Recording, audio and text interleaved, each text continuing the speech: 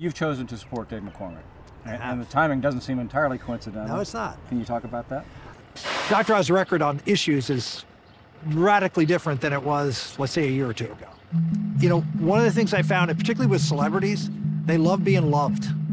And um, in, in Washington, you, as a conservative, you don't get any love. You get zero love.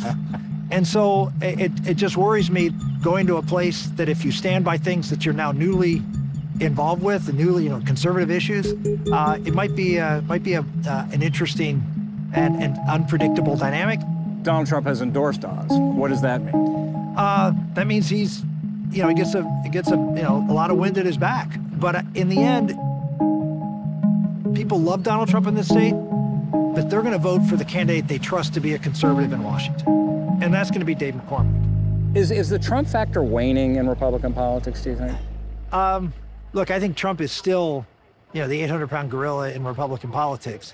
But look, as time goes on, people, you know, you know, sort of move on, and and I think. Uh, all things being equal, you want his endorsement as opposed to not wanting his endorsement.